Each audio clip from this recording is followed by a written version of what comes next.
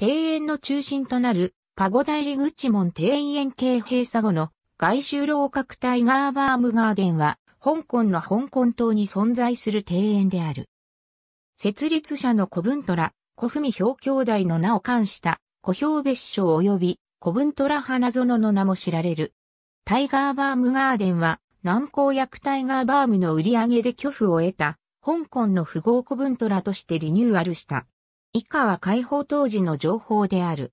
三島幸夫は1961年に訪れたタイガーバームガーデンのグロテスクな奇形を一つ一つ克明に鑑賞し、以下のような感想を綴っている。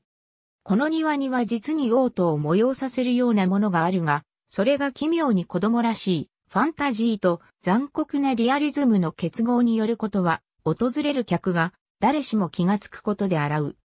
中国伝来の色彩感覚は実に生臭く、健康で、一かけらの衰弱猛火が晴れず、見る限り原色がせみぎ合いつている。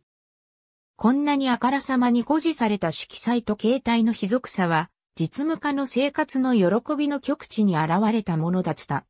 腰は不基本法を、そうひながらも、この国伝来の悪趣味の集大成を成就したのである。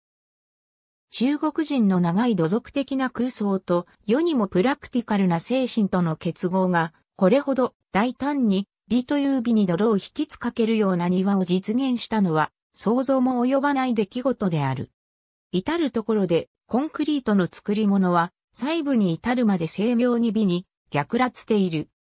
幻想が素朴なリアリズムの足かせをはめられたままで、思うままにのさばると、核も美に配置したものが生まれるという恒例である。三島由紀夫、美に逆ラフもの。ありがとうございます。